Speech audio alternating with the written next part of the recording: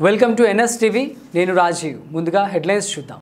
మోర్తాడ్ మండలం దొన్కల్ దొర్మోర్ శెట్టిపల్లి గ్రామాలలో Congress party MLA అభ్యర్థి ముత్యాల సునీల్ కుమార్ ఈరోజు ఎన్నికల ప్రచారం నిర్వహించారు. ఈ సందర్భంగా ఆయా గ్రామాలలో ఆయన ప్రజలను ఉద్దేశించి మాట్లాడారు. కాంగ్రెస్ పార్టీ అధికారంలోకి రాగానే పది లక్షల వరకు ఆరోగ్యశ్రీ బీమా కల్పిస్తామని తెలిపారు. గృహ విద్యుత్ అవసరాలకు ప్రతి కుటుంబానికి రెండు వందల యూనిట్ల విద్యుత్ అందిస్తామని తెలిపారు. మంత్రి ప్రశాంత్ రెడ్డి అవినీతి ధనదాహంతో ప్రజలను పట్టి పీడిస్తున్నారని కాంగ్రెస్ పార్టీ గెలుపుతో బాల్కొండ నియోజకవర్గంలో బానిస సంఖ్యల నుండి విముక్తి లభిస్తుందని మంత్రికి బాల్కొండ ప్రజలు ఓటుతో బుద్ధి చెప్తారని అన్నారు. ఆ రోజు టిఆర్ఎస్ పార్టీని గెలిపించాం. వాళ్ళు చెప్పినటువంటి బూటకపు హామీలను నమ్మినాం ఇంటికో ఉద్యోగం అన్నారు. దళితులకు మూడెకరాల భూమి అన్నారు. కేజీ టు పీజీ ఉచిత విద్య అన్నారు. దళిత ముఖ్యమంత్రి అన్నారు. ఇవి ఏమీ కూడా చేయలేరు. మళ్ళా రెండు వేల పద్దెనిమిది ఎలక్షన్లు వచ్చినాయి. మనందరినీ భయపెట్టిండ్రు. ఏమని చెప్పిండ్రు?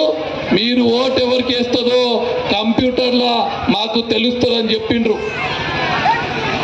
మేము మేము మీరు మా కోటేయకపోతే మీ పింఛన్ కట్ చేస్తామని చెప్పి మనందరినీ భయపెట్టి దొడ్డి మార్గాన్న అక్రమార్గాన్న రెండోసారి అధికారంలోకి వచ్చిండ్రు. రెండోసారి అధికారంలోకి వచ్చినాక ఏం చేసిండ్రు? ఏం చేసిండ్రు?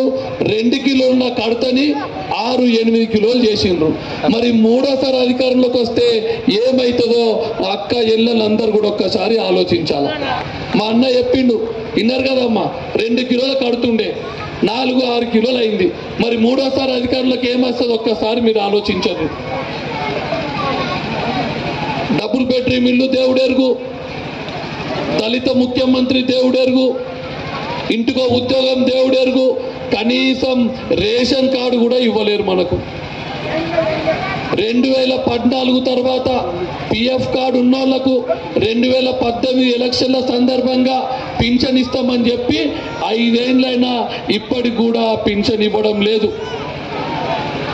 యాభై ఏడు సంవత్సరాలకే పింఛన్ ఇస్తామన్నారు.